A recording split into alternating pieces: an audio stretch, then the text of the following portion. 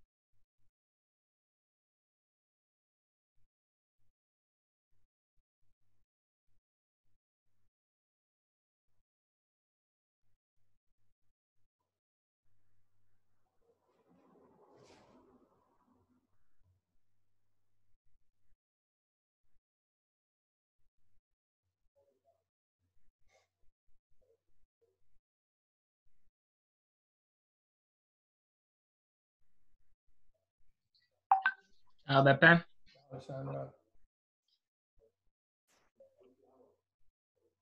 come stai? tutto bene, tutto bene, dai. Appena finito di studiare. Quando hai l'esame adesso? Lunedì, l'ultimo della sessione. Poi quanti te ne rimangono? Dovrebbe essere l'ultimo questo. Vacca miseria. Siccome hai Eh, specificato l'ultimo della sessione, eh, speriamo che sia l'ultimo, insomma. com'è come esame? Cos'è? È bello tosto, eh, si chiama attività fisica adattata. E Parla di tutta appunto l'attività adattata a persone con problemi o polmonari o cardiaci, mhm. tutto così. E cosa devi fare? Teoria o scritto? È un orale, co- sono tre professori diversi però, perché ognuno ha un ambito diverso. Mhm. E come preparazione come sei messo? Eh, così così, nel senso, c'è veramente tanta roba da studiare e avendone dati due anche dieci giorni fa, non ho avuto tantissimo tempo per studiare, però comunque avevo già studiato un po' prima, non sono messo proprio male male. Ma nel senso lo provi o ci vai convinto? Allora, ci vado convinto, però ho già messo in conto la possibilità di non passarlo, diciamo. No, anche perché se prendo un voto basso basso comunque lo rifiuto. Che me- Essendo che l'ultimo media hai esame adesso? 24 e quindi vuole prendere almeno 25. Mhm. Se prendo 20 o 18 non, non penso di tenerlo.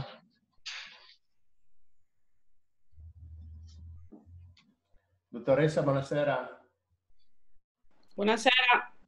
Eh, lei ha slide questa sera? No, no, No? no. Per cui è tutto dal vivo? Yes.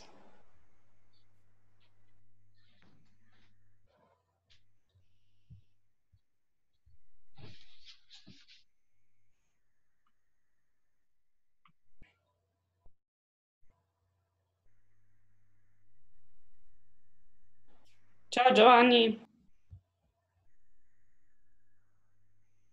Ma Giovanni l'ho salutato anch'io prima, ma o non sente o, o c'è qualcosa che non va.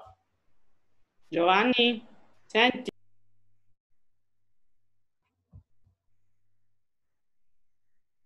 Anche perché lo schermo è immobile.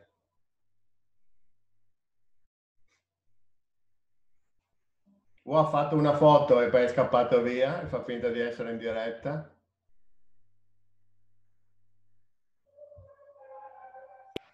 Voi quelli che mettevano gli occhiali con gli occhi Sì, sì, disegnati sopra. Adesso dà, dà segni di...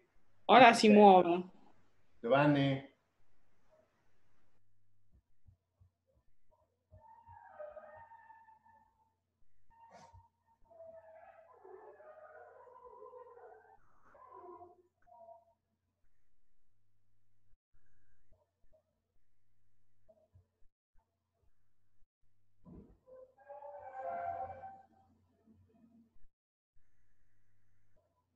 Giovanni? Ci sei? Ci sono, ci sono. Oh. Ciao. Ciao, Reni. tutto bene? Come stai? Bene, tu? Bene, bene. Ti si... Forse ogni tanto ti si blocca la connessione, può essere? Sì, può essere, può essere. Perché non... Odio le linee. Sì, può essere, può essere. È dritta la linea lì. Così è dritta. Come va? Ma sei vestitissimo. Cioè, Come? 800 metri da qui c'è più freddo? Perché qua si muore dal caldo. Sono freddoloso, dai. Io sempre freddo. Sì? Mamma mia, e- Quindi, e oggi per la ma- prima volta ho acceso l'aria condizionata, ma non ho capito se sta funzionando. A me- a me sono freddo. Ieri c'era più caldo. Ieri Ieri c'era oggi, ma no, Sì. non lo so, mi sembra come ieri, forse anche un po' di più. No, oggi era devastante. Stamattina a Verona alle 7 c'erano già 29 gradi. Eh, anche qui stamattina presto. Oggi è stato veramente terribile, però ho visto che la settimana prossima addirittura arriviamo a 34-35 gradi. Perfetto. Sarà contento il buon Cappello che va in vacanza? Ieri sera Giovanni, il dottor Cappello, ha fatto l'ultima relazione. Per Ah. la settimana prossima è su in montagna. Ho capito. Bene.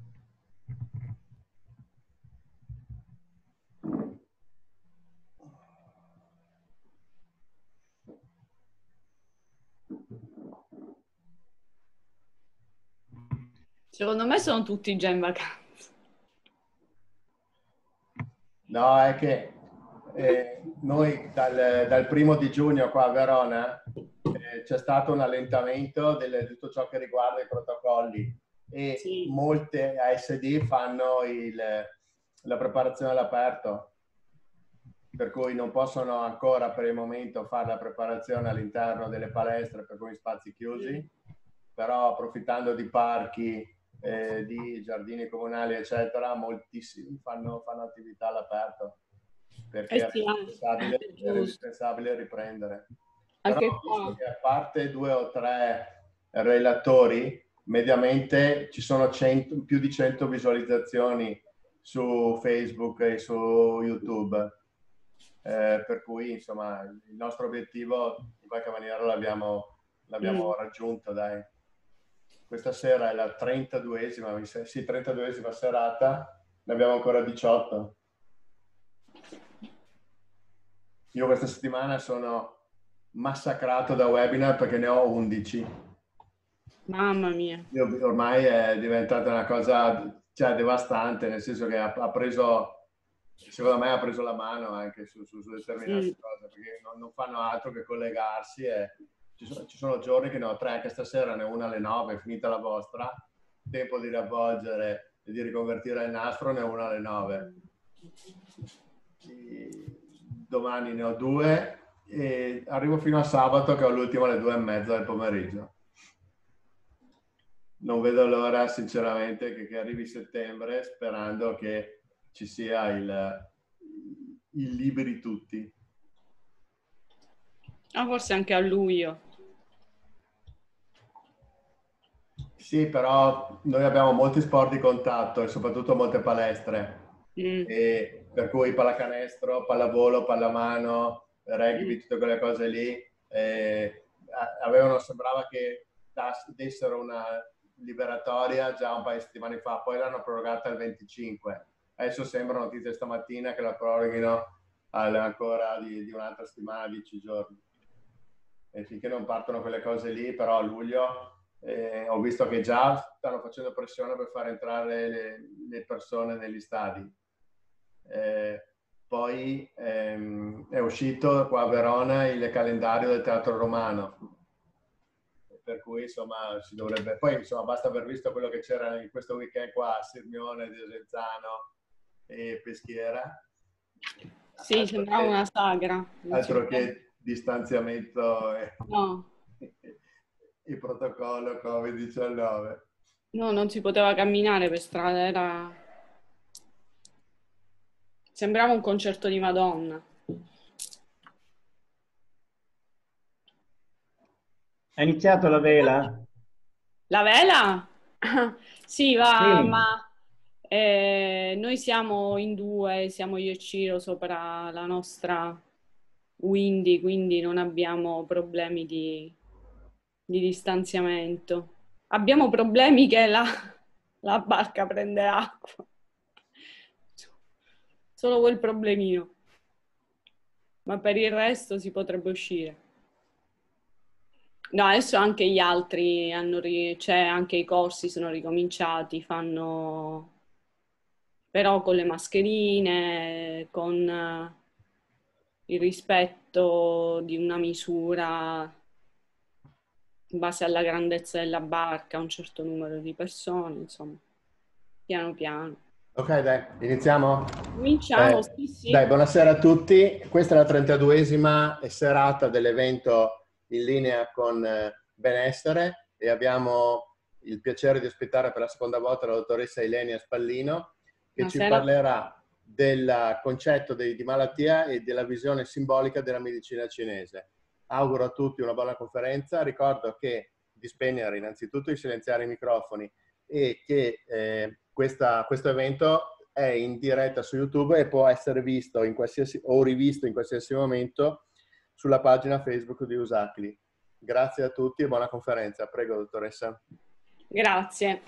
Allora, io stasera volevo parlare della... Ma se qualcuno mi rimane acceso, tipo Giovanni, così invece di vedere me vedo qualcuno, almeno mi- non mi sembra di parlare da sola. Ehm, grazie Giovanni. Stasera volevo parlare della malattia perché l'altra volta abbiamo parlato di, di, eh, longevità senza malattia, longevità in salute. E lo dico per eh, chi c'era l'altra volta. Con il maestro Marco Montagnani abbiamo parlato di questi famosi antichi di cui parla il capitolo 1 del Sowen, che è un testo classico risalente a circa 2000 anni fa, per cui si riferisce ad antichi molto più antichi di 2000 anni fa, che in base alle loro conoscenze delle leggi di natura riuscivano a vivere a lungo, secondo quanto programmato dalla natura, dicevano oltre i 100 anni. E oggi sappiamo che questo è vero, nel senso che a livello biologico potremmo vivere oltre i 100 anni, 120, anche 130, dicono. Alcune tribù, per esempio gli aborigeni, effettivamente prima della, eh, di quello che è successo insomma, negli ultimi decenni, vivevano effettivamente così. Ma oggi parleremo invece della malattia. Perché ci ammaliamo? Allora, non mi, chiaramente non mi addentrerò nei simboli delle malattie eh, perché questo rischia poi di essere generalizzato. Ehm, e così non è, perché ogni persona è completamente diversa, ogni persona è un caso a sé, quindi la stessa malattia in una persona può avere un significato, in un'altra persona può avere un altro. Il discorso che vi voglio, vi volevo fare oggi era più che altro per stimolare un uh, punto di riflessione, un momento di riflessione per, ehm, per vedere la malattia con, con delle lenti diverse rispetto a quelle con cui siamo abituati a vederla e piano piano mi spiegherò. Cercherò di parlare poco, e non userò le slide perché preferisco fare un, così una chiacchierata e non una lezione che non, non penso che il che giorno è oggi il 24 23 di giugno con 30 gradi e il sole che spacca le pietre interessi a qualcuno una lezione semmai una, una chiacchierata una discussione che può essere utile uno spunto di riflessione allora ehm, secondo me eh, può interessare un po' di più. Quindi ehm, vorrei partire però da un concetto che eh, devo spiegare necessariamente, che è un concetto della medicina cinese. L'altra volta abbiamo parlato delle leggi del cielo, no? quindi del, di questi famosi antichi che seguivano il Dao o Tao. Mi scuso in anticipo con gli esperti, quelli che mi ascoltano, che magari già conoscono questi argomenti qua, e sono, po- potrei risultare superficiale perché eh, chiaramente cerco di ehm, semplificare il, l'argomento che è molto complicato e, e come diceva il mio professore di anatomia patologica, semplificare è un po' mistificare, quindi nella semplificazione chiaramente tante sfumature vengono meno, per cui alcune cose possono sembrare diverse dalla realtà. Però è necessario perché altrimenti ci vorrebbero, non basterebbe un'ora per parlare di questi temi qua e neanche un anno.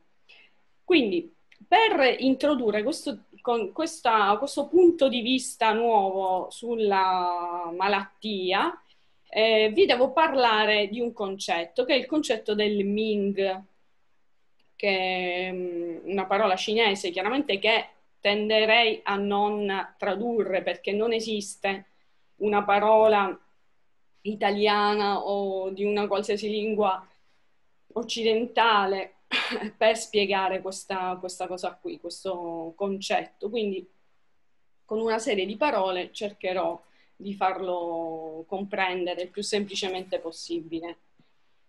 Um, gli inglesi, per esempio, tra- gli anglosassoni, gli americani lo traducono come curriculum e già questo per noi è fuorviante, perché per noi il curriculum è quello che già abbiamo fatto, mentre per loro è quello che c'è da fare, cioè quando loro si iscrivono all'università fanno un curriculum che noi potremmo chiamare per esempio piano di studi, cioè scelgo questa materia, quest'altra materia, questa eh, al primo anno, quella al secondo anno, eccetera. Quindi forse la frase piano di studi potrebbe in qualche modo farci capire che cos'è questo Ming. Chiaramente, a differenza del piano di studi che noi lo scegliamo coscientemente, con la mente pensante, il Ming non lo conosciamo perché noi nasciamo con questo eh, programma di apprendimento che si svolge poi per tutta l'esistenza e tutta l'esistenza la passiamo a cercare di eh, incontrarlo, questo programma, a cercare di capirlo. Eh, perché eh, a differenza del piano di studi che ci abbiamo stampato in qualche foglio, eh, quello lì non ce l'abbiamo. L'obiettivo quindi di tutta la vita è ehm, rimanere allineati a questo piano di studi, a questo progetto di vita che non conosciamo ma che si va svolgendo piano piano. Allora voi direte, e come si fa? Poteva essere più facile la vita, no, altrimenti se già sapevamo tutto, mh, qual era il bello di vivere. E, mh, questo mh, piano di studi è eh, legato a quelli che potremmo definire i desideri puri del cuore, che sono quelli che poi nella vita ci spingono a fare delle determinate scelte eh, che piano piano ci portano a svolgere questi compiti. Quindi è attraverso il nostro cuore che noi svolgiamo il Ming. Chiaramente i desideri, ho detto, puri, non i desideri qualsiasi, quelli a cui siamo abituati, tipo mi voglio comprare i pattini verde acqua, eh, che non sono i desideri del cuore, quelli sono i desideri indotti e il 99% dei nostri desideri sono indotti e quindi ci sviano dal nostro mandato. Ecco perché quelle famose popolazioni antiche che vivevano secondo le leggi di natura e non avevano degli esperti pubblicitari ad influenzarli, non avevano il problema di uscire dal loro mandato, non avevano il problema dei desideri indotti, per cui i desideri spontanei del cuore li portavano ehm, passo dopo passo nello svolgimento del loro mandato. Il mandato si dice, ma scusate, è un altro termine con cui possiamo tradurre Ming, il mandato del cielo. Questo mandato Ming, chiamiamolo così, magari ci capiamo meglio, però sappiate che è una parola un po' superficiale per eh, descriverlo completamente. Questo mandato, dicono eh, i cinesi, sta nei reni, i reni eh, non quelli che conosciamo noi fisicamente, ma eh, la funzione che hanno i reni. I reni nella medicina cinese funzione, sono collegati all'acqua, quindi sono collegati alla nostra autenticità, perché nell'acqua sta il nostro eh, autentico, eh, la nostra origine. Sapete che tutto origina dall'acqua, no? Eh, ogni cosa per nascere, per crescere ha bisogno dell'acqua. Per eh, l'essere, l'essere, umano è fatto all'incirca, in base all'età, comunque sono circa 70% di acqua, anche la terra è fatta in maggior parte di acqua, eccetera, eccetera. Quindi l'acqua è il, quello che permette, ciò che permette l'elemento che permette la vita stessa. E nella nostra acqua, quindi nella nostra parte più profonda, più autentica, eh, dimora questo Ming. Mentre, come abbiamo detto prima, nel cuore dimora, eh, dimorano i desideri, perché nel cuore c'è il nostro puro spirito, che ehm, anche qui la traduzione è, è un po' mm, superficiale perché banalizza un po' il concetto, si chiama Shen per i cinesi. È l'anima che si incarna eh, è quella che rimane sempre. No? Sapete che nella mh, la medicina cinese è influenzata dal taoismo, dal buddismo e anche dal confucianesimo e in particolare quello di cui vi sto parlando è l'aspetto taoista ma anche buddista eh, della, della, medicina cinese. Questa, quest'anima non ha una morte, non ha una fine, il corpo che muore ma l'anima sopravvive e eh, sapete che c'è il concetto della reincarnazione, ma lasciamo perdere perché magari qualcuno non crede al concetto della reincarnazione, non importa perché questi concetti eh, valgono a prescindere dalla reincarnazione. Quindi abbiamo questa eh, anima Shen che risiede nel cuore, che corrisponde all'elemento fuoco, e eh, questo mandato che si chiama Ming e che risiede nei reni che corrispondono all'acqua. Quindi c'è questo asse acqua-fuoco che già ci deve mh, mm, far pensare a un equilibrio perché tra l'acqua e il fuoco è chiaro che ci deve essere un grande equilibrio perché altrimenti il fuoco seccherebbe l'acqua e l'acqua spegnerebbe il fuoco. Quindi l'asse principale della nostra esistenza a livello più, ehm, più profondo, più spirituale, è, è l'asse acqua-fuoco. Quindi quando questi, questo asse è allineato, quindi quando il cuore eh, con i suoi desideri è allineato al Ming, anche se noi non siamo consapevoli del nostro progetto di vita, quello che scegliamo, quello che facciamo, i nostri desideri sono puri e noi svolgiamo i compiti per i quali siamo nati. L'obiettivo di ogni vita, secondo la medicina cinese, di ogni nascita è l'evoluzione. Quindi questo mandato ci serve per evolverci. Per cui se tutto funziona bene, tutto è allineato e noi ci muoviamo serenamente nella vita seguendo dei desideri puri e stiamo nel nostro Ming, tutto va bene semplicemente cresciamo e impariamo dalle nostre esperienze, perché i desideri del, puri del cuore ci portano a fare delle esperienze. A volte invece, molto spesso, almeno la maggior parte di noi, per una serie di motivi che può essere appunto i desideri che sono completamente distorti e confusi, e altre cose che chiaramente non possiamo qui stare a discutere perché sono, sono tante, ma fondamentalmente restando su questo tema guardiamo l'aspetto dei desideri, cosa succede? Che noi deviamo da, questa, da questo mandato, deviamo da questa strada che dovremmo compiere in questa vita.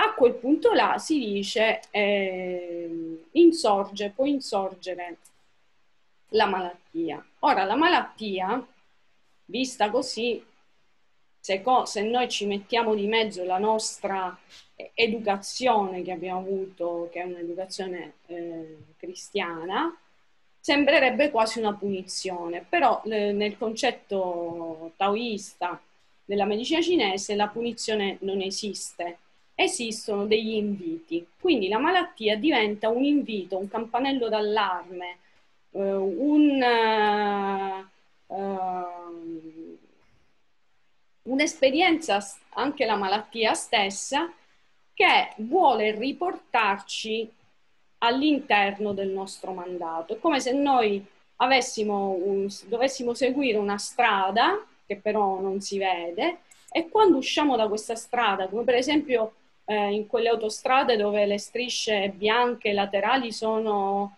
ehm, non, non, non mi ricordo come si dice, le bande sonore, che quando ci vai a finire sopra con la macchina, la macchina inizia a vibrare. Ecco, una cosa del genere.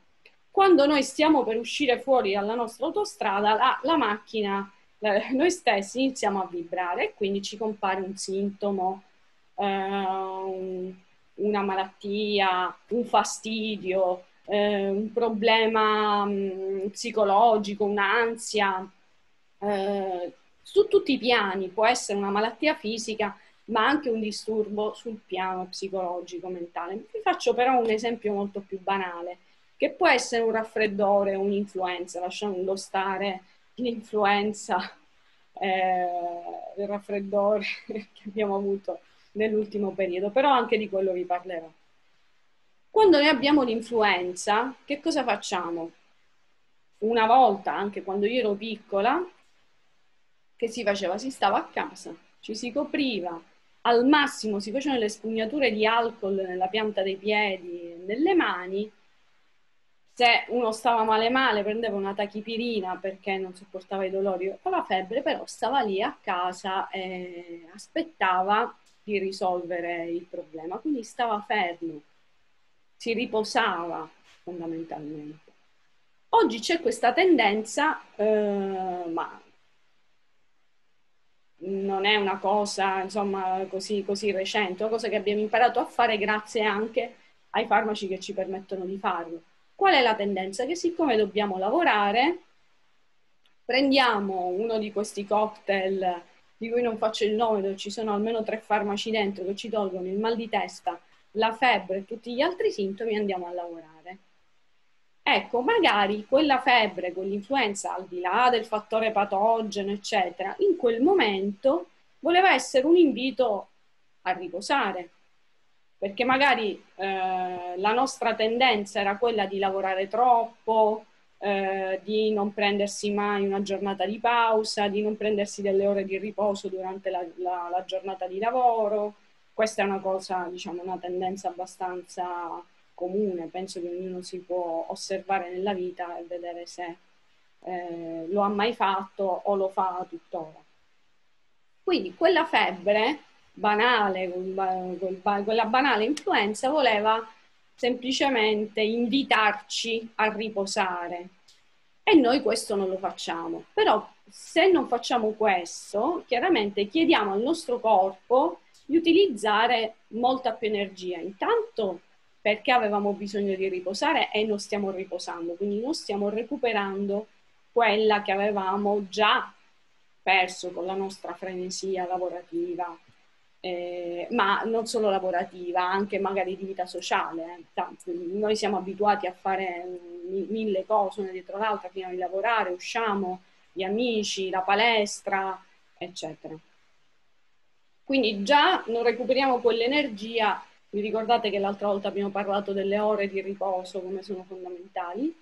In più, per eh, mantenere quello stile di vita in corso di un'influenza, per esempio, anche se non sentiamo i sintomi perché li abbiamo sedati con, con gli antipiretici e gli antidolorifici, però quel problema c'è, il corpo sta già utilizzando tantissima energia per eh, rispondere a questo fattore patogeno e noi in più lo facciamo lavorare.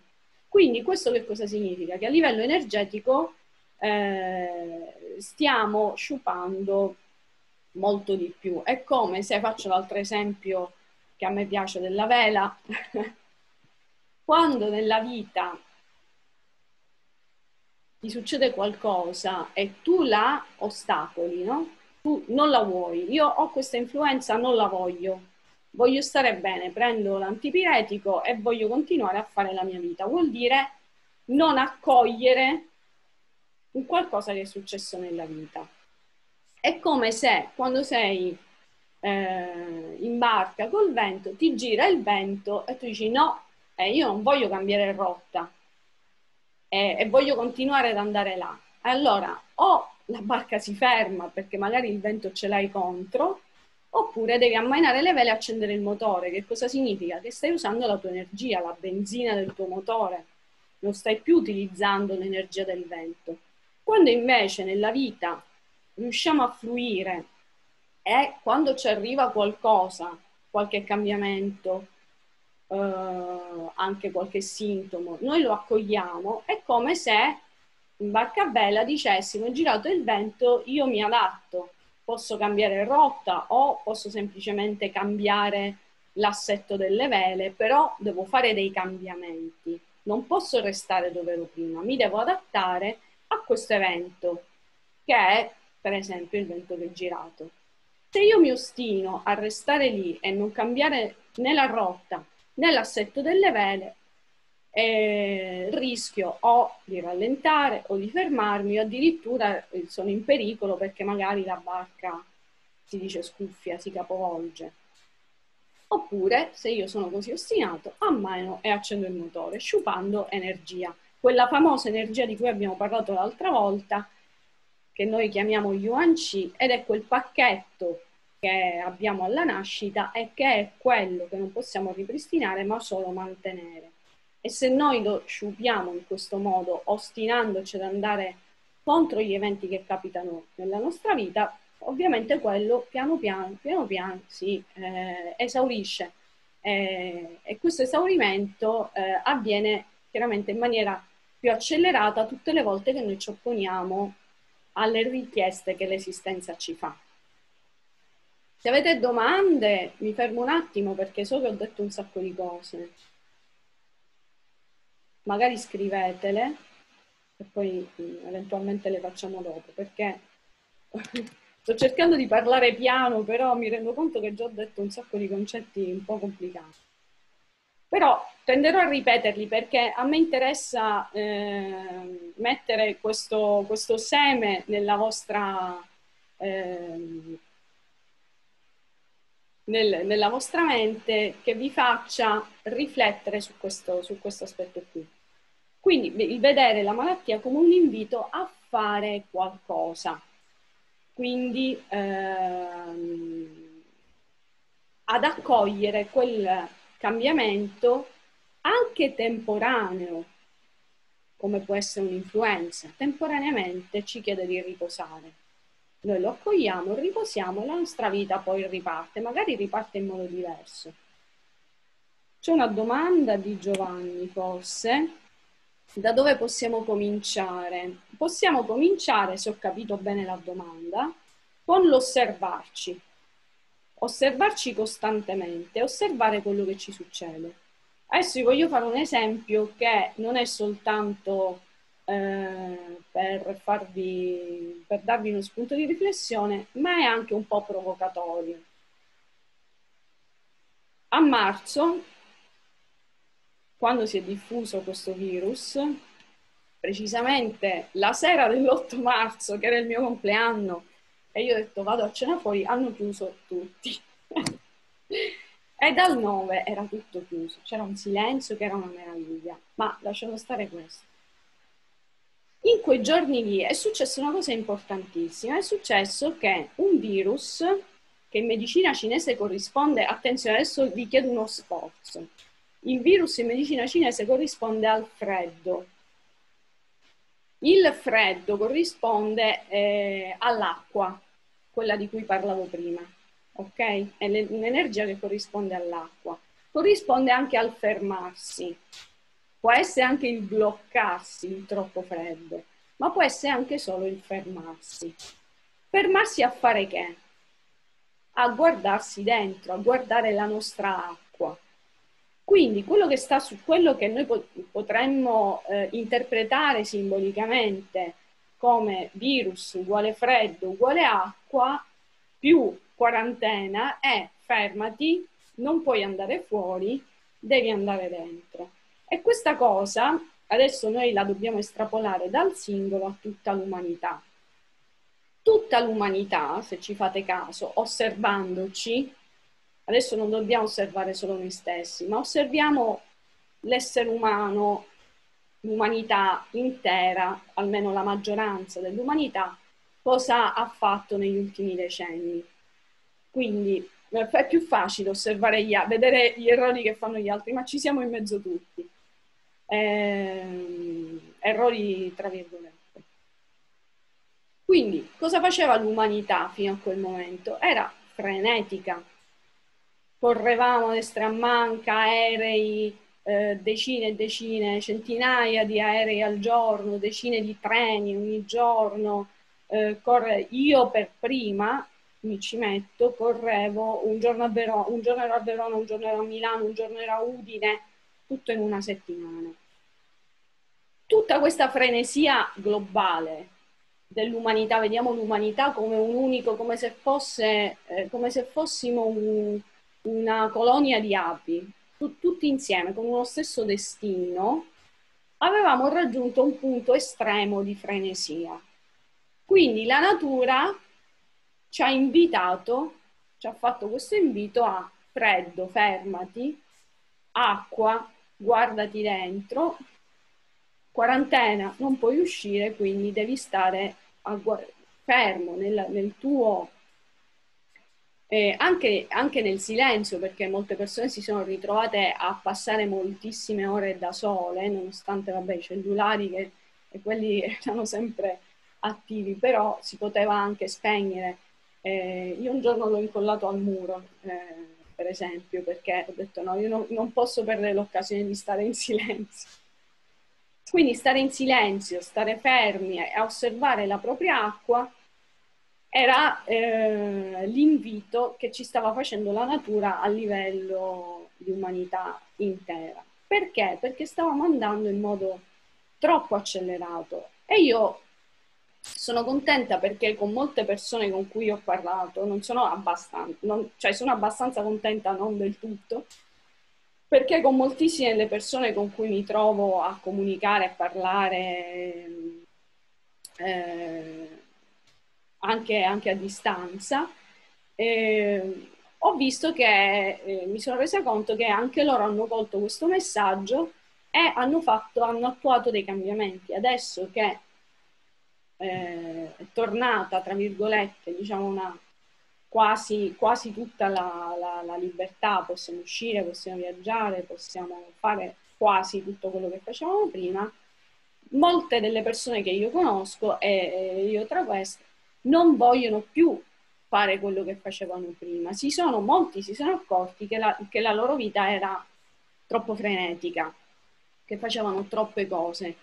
E, e questo è uno, almeno quello che sono riuscita a leggere io, ma magari ce ne sono anche altri segnali, messaggi eh, simbolici che ci ha dato questa esperienza.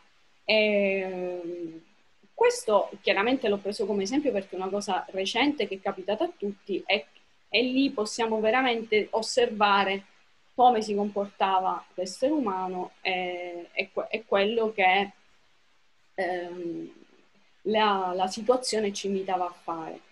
Questo lo possiamo riportare in piccolo e quando, per esempio, nel nostro caso abbiamo una, un problema fisico, un sintomo, qualcosa che ci blocca, eh, no che ci blocca, qualcosa che, che ci impone un cambiamento, lì è solo con l'osservazione che possiamo capire eh, se c'è dietro un messaggio. Non è così facile, eh, non sempre è così semplice capire, capire il messaggio di, una, di, un problema fisico, soprattutto se è qualcosa eh, di più complesso, di un'influenza come una malattia che si è instaurata nel tempo, una malattia cronica, per non parlare delle malattie gravi, lì c'è sempre bisogno comunque di qualcuno che ci dia, che ci dia una mano.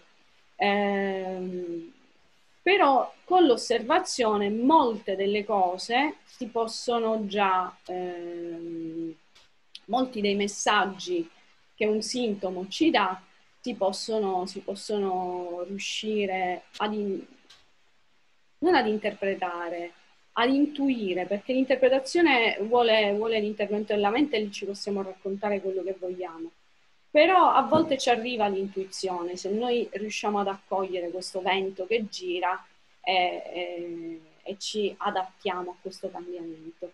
non, è, non voglio mh, mm, eh, banalizzare questo concetto qui perché non è così banale. Vi faccio un altro esempio e poi smetto. Eh, l'anno scorso, in questo periodo, come oggi, ero al terzo giorno eh, post-chirurgico. E, per fortuna non era una malattia, una malattia grave, però era una, un problema che mi sono portata avanti dalla diagnosi finché non mi sono decisa a farmi operare, me lo sono portato avanti 5 anni. E diagno- alla diagnosi già era partito chissà da quanto tempo. Quindi adesso non vi sto qui a raccontare tutta la storia perché sennò diventa troppo lunga. Però in questi cinque anni io mica l'ho capito subito qual era l'invito di questa malattia, assolutamente. E ancora eh, continuo ad avere dei messaggi che mi arrivano da, da questa esperienza. Però in questi cinque anni in cui io ho rimandato l'intervento chirurgico perché avevo una serie di ehm, ostacoli mentali rispetto all'intervento chirurgico stesso ed emotivi legati al mio, alla mia infanzia e tutta una serie di cose, io ho imparato, ho potuto fare grazie a questa cosa, grazie a questa malattia, ho potuto fare tutta una serie di esperienze che mi sono servite per crescere. Quindi ehm, a volte nel, nostro, se noi eh, appunto vivessimo come gli antichi famosi del, del testo dell'altra volta, non avremmo bisogno delle malattie per fare le esperienze. Siccome non viviamo così, a volte è necessaria anche la malattia che ci porta, che ci dà che ci fa come il, le strisce bianche del, dell'autostrada, non mi ricordo mai come si chiamano. E, vabbè, poco fa l'ho detto, adesso non me lo ricordo come lo dicevo. Che ci riporta eh, all'interno della, della carreggiata. E, e quindi alla fine uno può dire anche grazie a questa cosa qua. Io ringrazio anche tantissimo l'esperienza dell'ospedale, che eh, se, la, se, qualcuno me l'avesse detto cinque anni fa, che io avrei ringraziato l'intervento chirurgico, la ferita, il dolore, tutte quelle cose, le avrei detto tu sei pazzo completamente. Invece no, anche quell'esperienza soprattutto, c'è stato come il culmine di questi cinque anni in cui io grazie alla malattia ho, avuto, ho fatto una serie di esperienze, di incontri, ho conosciuto delle tecniche terapeutiche che non conoscevo, eh, ho fatto veramente un percorso evolutivo, ma quello dell'intervento chirurgico, eh, che è assurdo perché uno dice uno fa un percorso evolutivo quando fa mh, mm, qualcosa di spirituale, i ritiri, tutte le cose che ho fatto, no. La cosa più eh, evolutiva spiritualmente è stata l'intervento chirurgico. Quindi anche quelle cose lì, cioè non dobbiamo pensare sempre che per fare un lavoro spirituale bisogna necessariamente andare eh, sull'Himalaya a fare un, un anno di ascetismo, vent'anni di ascetismo, a volte anche il, uh, qualcosa di molto più banale, come può essere un intervento chirurgico, può essere quello che ci fa fare il salto. E io quella cosa l'avevo rifiutata per tantissimo tempo. Chiaramente questo vale per me, Ecco perché non ho voluto uh, fare un discorso sui simboli, come per esempio mh, sicuramente molti di voi conosceranno la medicina, eh, la nuova medicina germanica di Hammer o la metamedicina, dove ogni malattia è simbolo di qualcosa. Perché lì si rischia di generalizzare troppo e, e non siamo tutti uguali. Quindi ognuno deve osservare se stesso, osservare la sua vita e nell'osservazione vivere l'esperienza anche della malattia che diventa eh, come, non so chi se l'ha inventato questo termine, io l'ho sentito per la prima volta da Valdo Vaccaro, che è un personaggio simpaticissimo, eh, che, eh, che, dice che non esistono malattie ma benattie. La, la malattia diventa veramente una benattia se noi siamo in grado di accoglierla e seguire il suo invito, accogliere il suo invito come del tango, quando chi ci porta ci dà l'invito e, l'uomo dà l'invito e la donna lo segue e, quello le permette di fare le sue evoluzioni. E, ehm, se ci sono domande, perché capisco che è una cosa un pochettino strana che vi sto dicendo, no, vado avanti. E questa cosa è, è diversa per ognuno. Quindi a volte è necessario l'aiuto. Io in questi cinque anni, per esempio, ho avuto l'aiuto di tanti eh, terapeuti, di amici, di persone che ho incontrato, di persone con cui ho condiviso esperienze, eccetera, che piano piano mi hanno portato a seguire questo, questo, questo invito. Eh, Giovanni chiede cosa penso del coronavirus. Ma io penso che quello, quello che ho detto prima, poi non voglio entrare nel merito eh, della chi l'ha messo in giro, se la natura o l'uomo, eccetera. La natura eh, permette, anche se la, l'avesse fatto l'uomo, la natura permette che avvenga qualcosa quando quel qualcosa è necessario che avvenga, soprattutto in questi eventi così, ehm, così estremi, non può essere un caso. Noi sappiamo che dalle, dalle filosofie orientali sappiamo che il 90% delle cose sono sotto la nostra responsabilità le creiamo noi stessi, noi uomini, sia singolarmente sia come karma di massa. Il 10% è il caso. Però cose così estreme, come quello che è successo adesso, eh, non può essere il caso. Questo è, è stato proprio il culmine di eh, cause e condizioni che noi stessi abbiamo creato. Tant'è vero che tutto il resto della, della natura ne ha giovato, solamente l'uomo è stato costretto a fare dei cambiamenti. Quindi quello che penso io è che dobbiamo accogliere questo cambiamento. Quelli che l'hanno già fatto, benissimo, sono già felici perché le persone che, che me lo hanno detto sono eh, felici di aver capito questa cosa, di aver eh, vissuto questa esperienza, di aver fatto questo cambiamento. E, ehm, chi ancora l'ha, non l'ha, capito, eh, dovrebbe iniziare a ragionare su questo aspetto qui, osservare se stesso nella vita che faceva prima e chiedersi che cosa può cambiare. Perché secondo me eh, l'invito è sempre al cambiamento. Anche perché si dice in medicina cinese eh, la guarigione dipende dal cambiamento. Non c'è guarigione senza cambiamento. E lì torniamo al discorso di prima, noi prendiamo un farmaco, per esempio, che ci toglie i sintomi dell'influenza, non siamo guariti dall'influenza. Abbiamo eh, un altro esempio che faccio spesso, se tu hai la macchina senza olio, ti si accende la spia dell'olio. Allora, che cosa fai? Una persona sana di mente mette l'olio,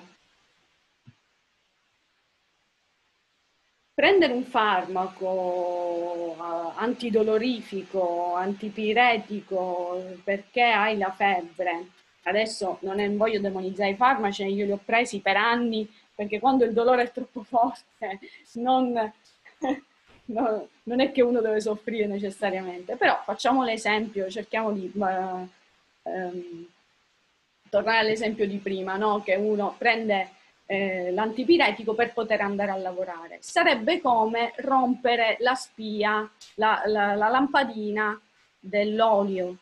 Quindi tu sei in macchina, ti si accende la spia dell'olio, cosa fai? Apri il cruscotto e rompi la lampadina, così la lampadina si spegne e non hai nessun problema. Dopo un po' la macchina si ferma e la puoi anche buttare in certi casi. Quindi, eh, se non lo facessimo con la macchina ci prenderebbero per pazzi giusto? Penso che siamo tutti d'accordo su, non vedo le vostre facce, però penso che se chiunque facesse questa cosa con la macchina, chiunque rompesse la lampadina della spia dell'olio della macchina, invece di mettere l'olio sarebbe preso per pazzo. Invece noi con la nostra macchina corpo facciamo così, rompiamo la lampadina del, dell'olio e, e, basta, con questo mi fermo così lascio spazio alle domande. Volevo parlare molto di meno, invece ho parlato assai. Eh, ci sono domande? Eh, perché a parte le due domande che sono arrivate in chat, ad, ad oggi, a questo momento non ci sono altre domande. Io, vabbè, per rompere un po' il ghiaccio, eh, una volta chi era mm, ammalato o chi era spesso ammalato si diceva che era cagionevole di salute. Sì. Di salute. Eh, ritornando un po' all'esempio, all'ultimo esempio che ha fatto, dottoressa, quello della spia dell'olio. Mm. Eh, allora, uno che è continuamente ammalato, io conosco persone che passano da un'influenza o da un raffreddore all'altro, ok, non fanno in tempo a guarire da, o magari chi è soggetto di allergie o di situazioni, eh, diciamo, problematiche, eh, che, diciamo, durante l'anno è spesso eh, ammalato. Cos'è mm. una, diciamo, una, una situazione che va monitorata eh, in, in che maniera?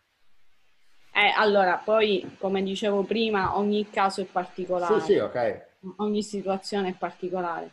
È chiaro che lì eh, si devono vedere tutti gli aspetti, come per esempio magari c'è un problema di sistema immunitario per cui quella persona tende ad ammalarsi più spesso o quindi può essere anche una malattia congenita, una malattia familiare, ehm, una, un, oppure può essere un problema eh, di stile di vita. Allora, mettendo da parte tutte le malattie congenite, familiari, eccetera, per cui uno ha, mm, per esempio, delle carenze particolari del sistema immunitario, mettendo da parte quelle, che comunque vanno sempre viste, e lì c'è parte tutta un'altra situazione sul karma eh, delle vite passate, cioè, che non è questo il tema di oggi.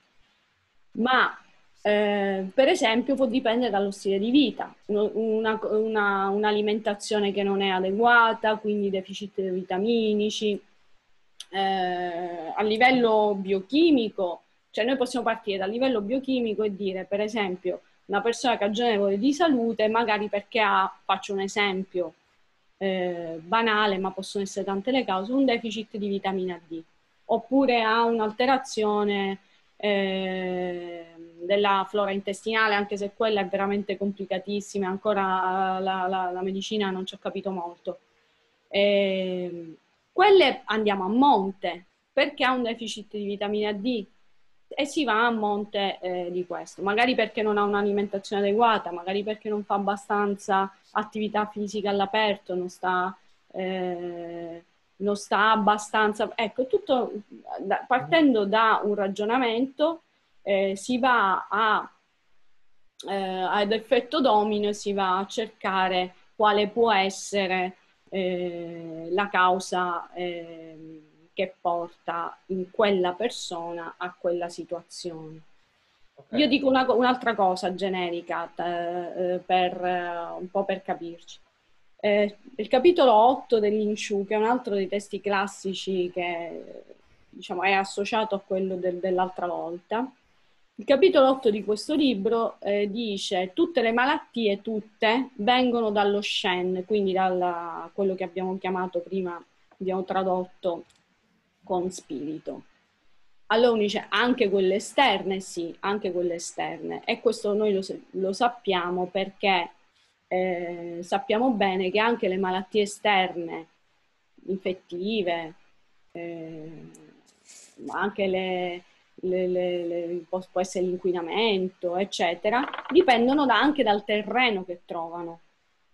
Questo noi lo sappiamo nella medicina convenzionale, no? la, la, un batterio per poter proliferare deve trovare un certo terreno in quel corpo, quindi magari deve trovare molto zucchero nel sangue, eh, qui, eh, oppure eh, deve trovare un sistema immunitario eh, non, tanto, non tanto attivo, per cui lui riesce ad espandersi. Adesso sto dicendo delle cose veramente molto banali.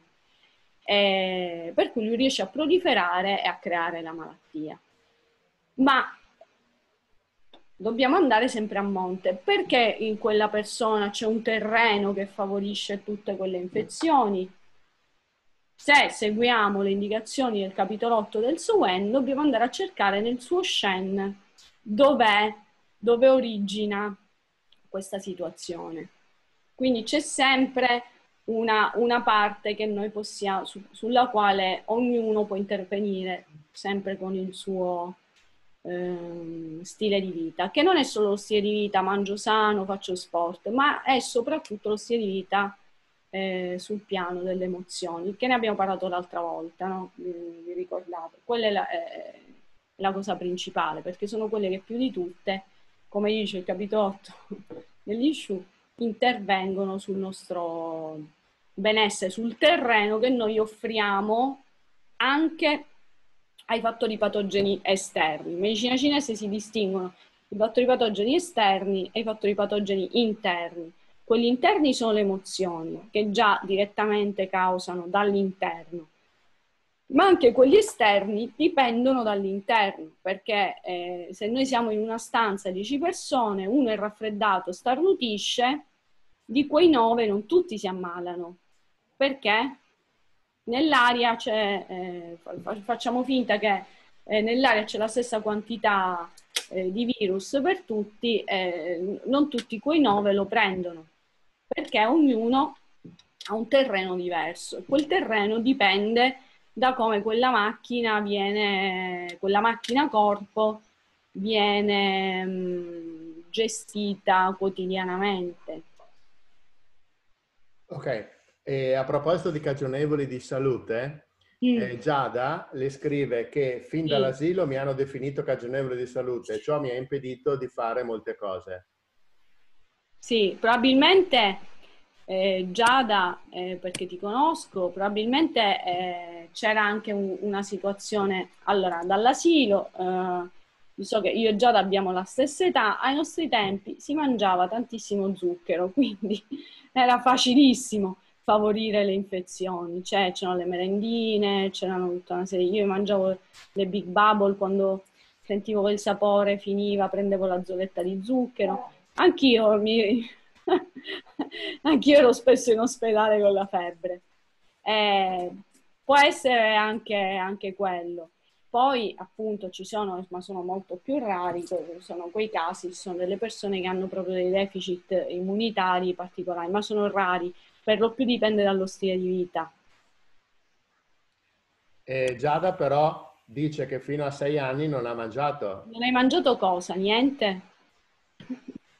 Forse intendeva le merendine, comunque adesso sta scrivendo. Aspetta, posso... intervengo. Parla, Giada, che è meglio. Ecco.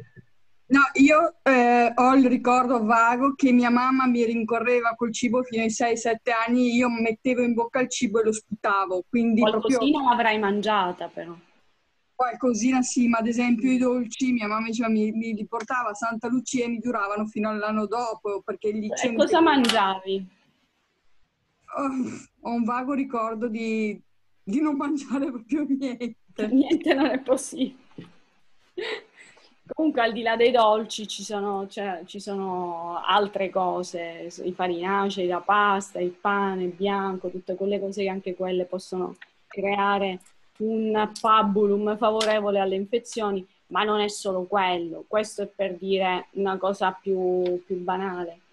Eh, ma non è soltanto quello, sono tante le cose, ci sono le emozioni, ci sono eh, altri aspetti che... Anche che perché mi, a questo punto sembra sì. che il mangiare invece di essere un piacere fosse un trauma per Giada fino ai sei eh, anni. Quindi ecco, evidentemente c'è un aspetto eh, relazionale perché il cibo, soprattutto per i bambini, è la relazione, la relazione alla madre, quindi è facile che se uno rifiuta il cibo eh, c'è un problema relazionale, quindi è, magari è più sul piano delle emozioni che non semplicemente alimentare.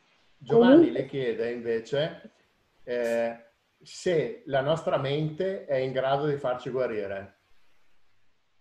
Ma eh, la, la, la mente-corpo cioè, secondo la medicina cinese noi siamo eh, dei, delle farmacie completissime, dei laboratori galenici completissimi, potremmo fare, potremmo fare tutto, ma infatti quello che fa l'agopuntura è questo, cioè stimola il corpo attraverso un messaggio, un segnale che, eh, che, dà, che, si, che con l'ago si dà ad un punto eh, parte questo, questo, messaggio, questo segnale che invita, che eh, spinge il corpo a fare da solo, a mettere in moto da solo tutti i processi di autoguarigione.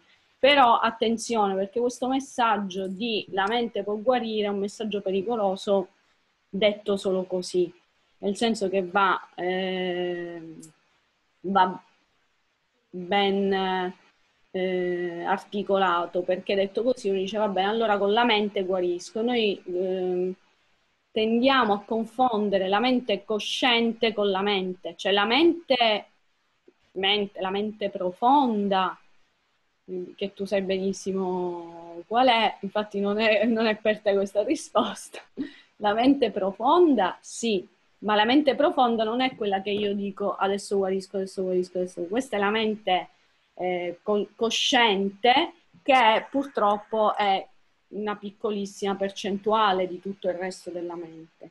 Quindi, così come la mente ci fa ammalare, la mente ci può guarire, ma non è sul piano cosciente che questa cosa avviene. Quindi è inutile guardarsi allo specchio e dire eh, sono guarito, sono guarito, sono guarito, perché non, non ci si riesce. È come se volessimo, come una mosca che vuole spingere un elefante. Eh, prima, L'elefante è la mente sub, subconsciente. Prima, quando parlava delle malattie, eh, le ha un po' eh, classificate, mi perdoni la terminologia, come sì. un campanello d'allarme, okay? come una spia che sì. corpo-macchina ti indica che c'è qualcosa che non va. Sì. E, e abbiamo parlato di persone cagionevoli di salute, ecco perché è anche intervenuta Giada. E invece sì. facciamo l'esempio opposto, chi non è mai ammalato o chi non si ammala mai. Eh, eh. Il corpo che messaggi ti può dare? Allora, ci sono due cose, o uno che non si accorge, pensa di non ammalarsi mai perché non si accorge, quindi succedono delle cose e non, eh, non le nota, magari sono un po' sul piano sottile, sul piano psichico, non se ne accorge, oppure veramente sta bene ed è il caso di chi ha eh, questo allineamento acqua-fuoco o rene-cuore o Ming-Shen, eh, un allineamento perfetto per cui lui segue il suo percorso di vita, fa le esperienze che deve fare per evolversi e non ha bisogno eh, non sta uscendo dalla carreggiata. Ma esiste nella vita reale una persona che è in equilibrio? Sì, no. esi- esistono. Esistono? Sono poche. diciamo che noi siamo la maggioranza. Nell'antichità, quei famosi antichi erano così. Cioè, un altro, un altro detto eh, cinese è l'uomo saggio non si ammala mai che si, si, intende l'uomo saggio, non quello colto che conosce un sacco di cose, ma l'uomo che è in armonia con, la sua, con il suo fluire, con, in cui il suo cuore e il suo rene sono in asse e quindi la malattia non, non ha motivo di esistere. Noi comuni umani ci ammaliamo, ma la malattia ci insegna delle cose se le sappiamo, se le sappiamo cogliere, perché Prima Perché lei ha parlato anche... Di... Come? Eh, prima eh, mi eh, riparto un po' dalla sua esperienza personale, visto che ha voluto condividerla, ok, di questo intervento eh, chirurgico e, e, lei ha evidenziato che il fatto di che un anno fa era ancora con un decorso post-chirurgico rispetto a un intervento che aveva rimandato per lungo tempo, eh, un po' perché ha dovuto lavorare su se stessa, ok, no. sulla mente, per eh, diciamo adattarsi a rimettere in equilibrio il corpo. Sì. E qui su, subentrano tante cose. Lei diceva che aveva avuto problemi nell'infanzia, immagino, okay? ed erano catene che la legavano a ricordi non piacevoli dell'infanzia. E chi è che eh, diciamo ci può aiutare in questo caso, eh, dando per scontato che bene o male può capitare, per cui eh, di eh, dover ricorrere chiamavano un intervento che è sempre la parte estrema rispetto alla mm. cura eh, farmacologica o alla cura eh, con medicine, chiamiamole alternative, cosa di cui lei è, è artefice. Però eh, in ognuno di noi c'è anche la paura, ok? Andrà bene, andrà male, che percentuale ho di, di risultato, di rischio, poi lo faccio, mi serve qualcosa, eccetera. è un percorso che è difficile, soprattutto se hai dei retaggi magari che ti portano a mettere in dubbio l'esito o soprattutto hai dei retaggi legati a delle paure magari ancestrali o legate a esperienze vissute. E Bravissimo. Qui il, l'equilibrio salta completamente perché il corpo ti dà dei segnali e ti dice occhio che devi operarti, devi fermarti. La mente invece ti porta a, in qualche maniera a sottovalutare o a nascondere o continuamente a posticipare, magari andando ad aggravare i segnali del corpo. È un po' come la spia che diceva prima dell'olio, ok? L'olio, se devo mettere un chilo, non è che nel giro di 100 km il chilo scompaia. Posso farne 1000, 2000, 5000, però più avanti vado, dopo va a finire che devo buttare via la macchina, come diceva lei prima. Sì. dov'è il, il, limite? Cioè, dov'è la deadline? Eh. Eh.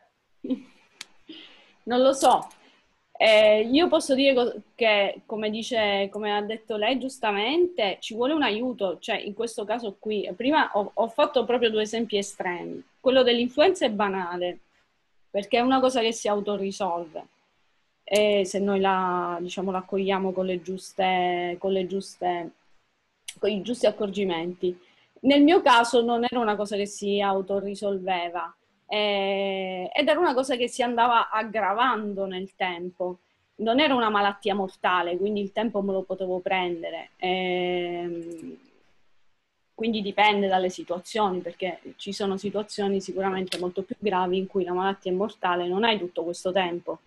Devi fare delle scelte in maniera molto più rapida. Però mettiamo nel mio caso fortunato in cui la malattia non era mortale, ma eh, da sola non, non era, eh, non è una cosa che io ho fatto da sola. Io ho avuto dei, delle persone che mi hanno aiutato, cioè sono stata da altri terapeuti, sia da colleghi agopuntori, sia eh, e in questo caso vabbè, c'è il discorso che se, se uno conosce la materia mh, si insinua la mente e crea dei, degli ostacoli è, è stato meglio scegliere delle, delle, strade completamente diverse. Per esempio, ho fatto la terapia essena, ho fatto altre cose, quindi ho avuto delle persone che mi hanno aiutato piano piano a eh, fare questo, questo percorso.